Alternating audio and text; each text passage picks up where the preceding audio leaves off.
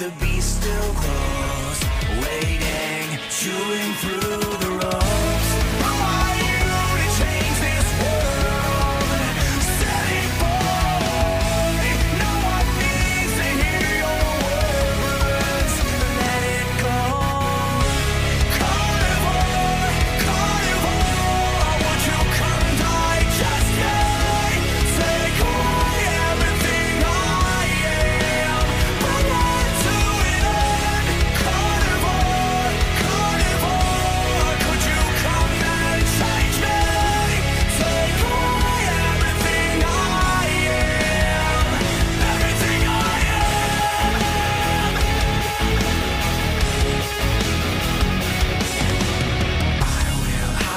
myself be